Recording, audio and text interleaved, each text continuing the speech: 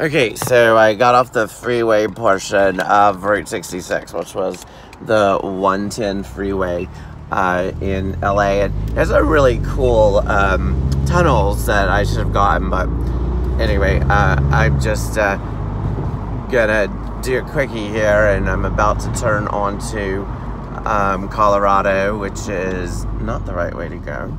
Um, so um, yeah, so you're gonna have to hear me talk through this one because I'm trying to get to Colorado. I'm at, what I, what I'm actually doing is uh, I am trying to go to Starbucks so that I can get my Starbucks for the day since I didn't have time to this morning. Um, and I want to prove to you that there is a uh, Starbucks on Route 66.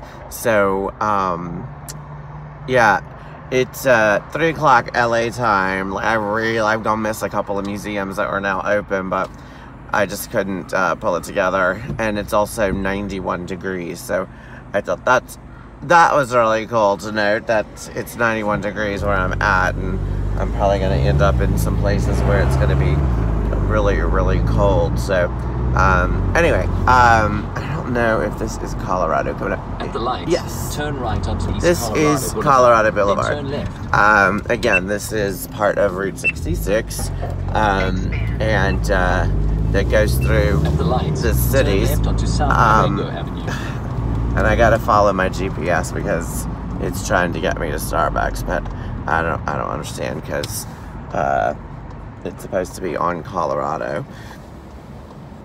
But um, maybe I'm, maybe I'm wrong.